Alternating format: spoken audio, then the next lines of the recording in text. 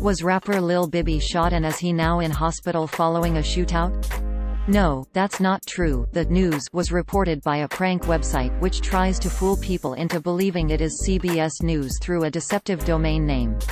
It is not real. The story originated from an article published on cbsnews.us not cbsnews.com on September 8, 2018 titled Rapper Lil Bibby in Hospital Following Shootout which opened. Quote, Brandon Lil Bibby Dickinson drill rapper out of Chicago is in hospital following shootout in Lake Shore Drive.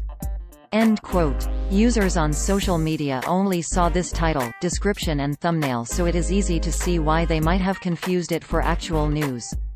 Quote, rapper, Lil Bibby, in hospital following shootout Brandon, Lil Bibby, Dickinson drill rapper out of Chicago is in hospital following shootout in Lake Shore Drive.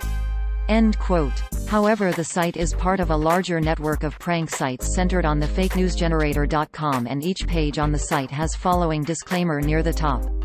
Quote, you clicked this fake news story. Now make your own. End quote. We wrote about CBSNews.us before, here are our most recent articles that mention the site. Fake news, Ed, Edd n Eddy creator Danny Antonucci not found dead in apartment aged 61.